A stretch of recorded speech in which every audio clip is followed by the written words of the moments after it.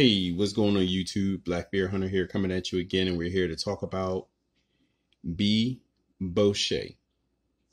Not like Bobby Boucher, Bochet.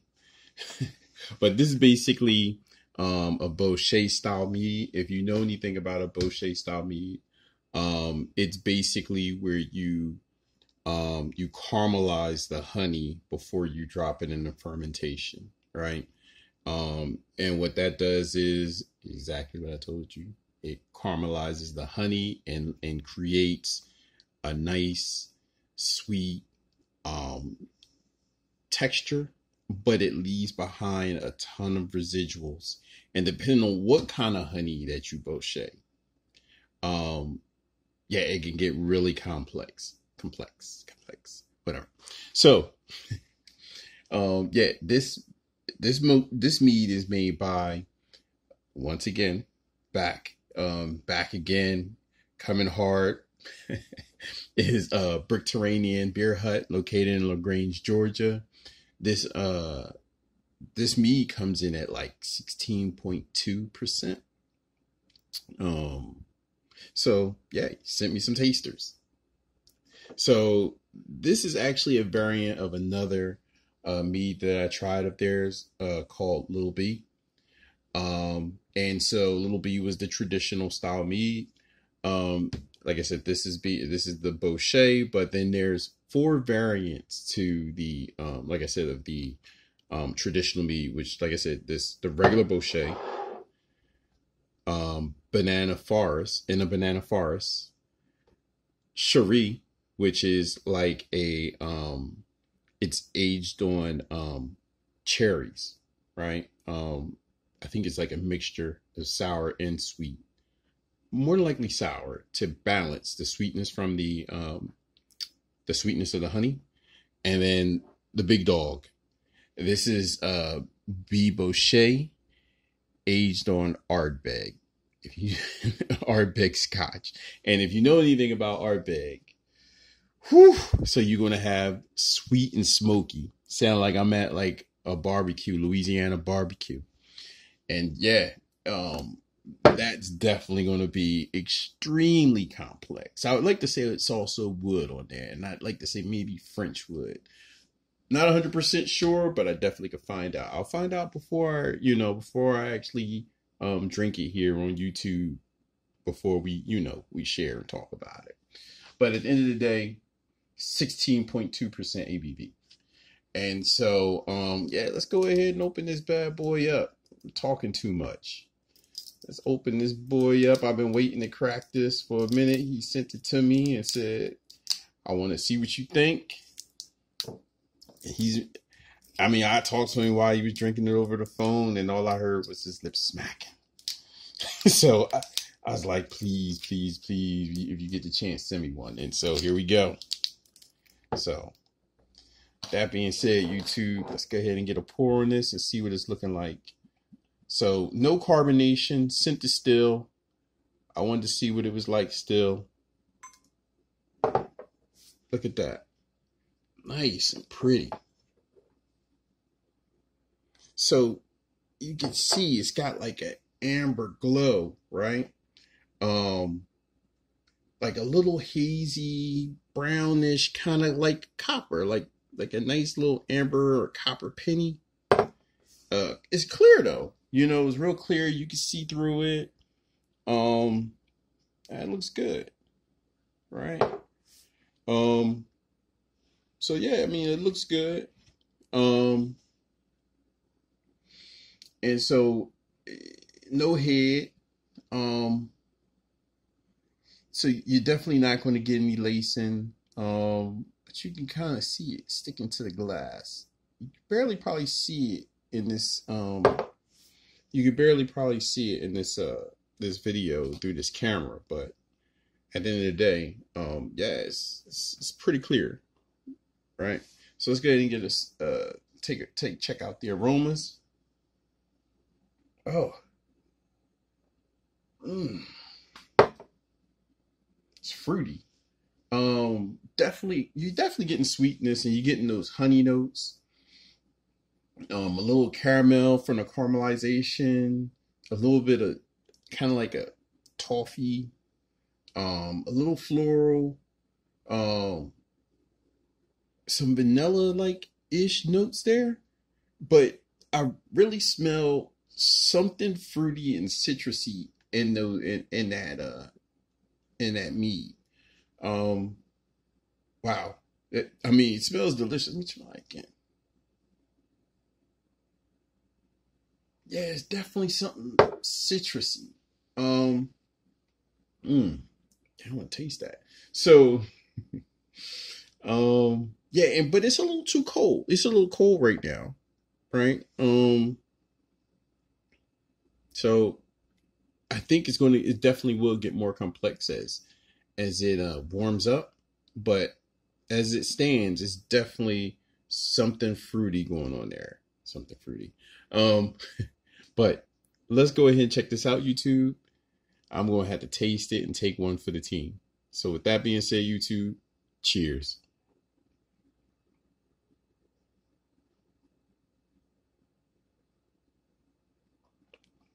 Mmm. Ooh. Mmm. Ooh. Okay. Man. It's oh my gosh, that is so delicious. So you definitely are getting some fruits in there. It's like apple juice. It kind of reminds me of a cider so you get those apple apricot notes. Um, you're getting that caramel. It's real light though. It's subtle. It's more fruit than than I'm getting those than the caramel notes and the residuals from um from Bochet from the Bochet process. Uh, woo.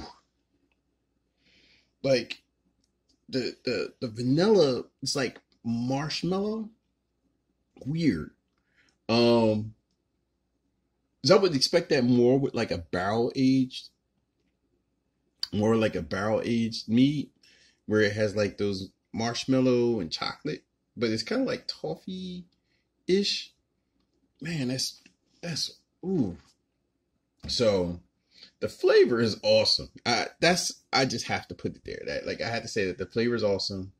Um loads of honey, but delicious. Is like I said, it's sweet on the front, but it it really kind of like I said that that fruit helps to transition the flavor, and you're definitely getting like yeah, like maybe even but like banana. But you're getting that apple juice, honey, banana, um, yo, so pure, unadulterated expression of Bochet honey. That's all I can say. Oh my gosh. It's really good. And I'm not just saying that because it's somebody I know. This is actually really, really good. Uh, they did an awesome job. The only thing I'd like to really see is what this would taste like in a couple years. I wish I could like fast forward. You ever see like uh, Click Adam Sandler? I wish I could do like Click and skip like four years and taste that in four years. Oh my god! Hold on.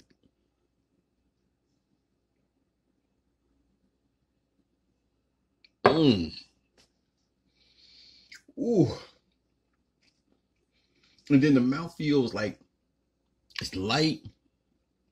Mmm. Just like lingers. Of course, no carbonation. But it just like lingers in your tongue and it's extremely, extremely, extremely smooth. Um man, this. Oh wow. What would I it, mm, would I have dessert with that? It's like dessert. But I mean, it would go well with. Fuck, it's hard to say. Like a salad, some fish. Yeah, maybe like some fish. Because I mean, it has like, it kind of feels like a mixture between. It's kind of like a wine. So it kind of feels like a pink Moscato. Maybe even like yeah, like a pink Moscato and Zinfandel because it it doesn't seem like it's really really dry, but then it doesn't seem really really sweet. Well, it is sweet, but it has some dry characteristics. So it's weird. It sits in between. So this is something a style that you can try yourself or you can just contact, if it was me, I'd just contact them just to get an idea, contact BrickTerranean and say, hey, hook me up. Check them out on Instagram. But at the end of the day, it's something you definitely have to try. I don't see why there's not a lot of Bochet style meads, braggots, um, anything in general, man. Like just meads and braggots why there's not a lot of Bochet style um, products. Um, even in Bochet added to a beer. Why? Why not? It totally changes the whole narrative. This is delicious. And I mean, I, I had their traditional style, which was delicious, but this is different. So with that being said, I like the originality. Um, sweet, honey sweetness though. Um, it masked the alcohol content really well. Um, nice on in easy on the palate. That medium, nice balance on the palate. Um, the it's a concentration of honey forward. Well, it is making fruit forward because the yeast that they used on this is doing did an exceptional job. Um, a little light acidity to it. Um, I'm not sure where that's coming from because there's no fruit in this, but it has a little, like, little acidic up front. Kinda, kinda. May, or it might just be reminding me of that because the citrus notes. But there's definitely some light floral notes. Um, like I said, the caramel, everything mixed in really well. Um, it's just raw. This is just really raw because it's still young. It's not even a year old yet.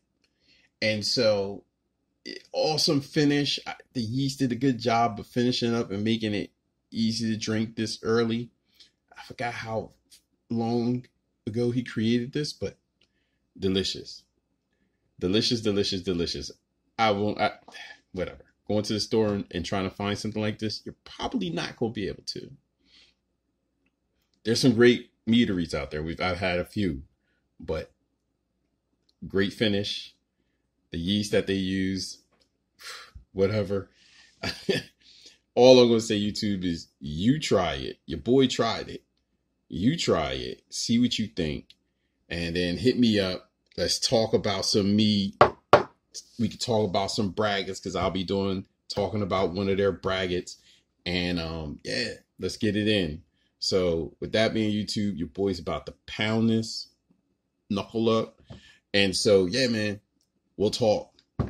Peace, YouTube.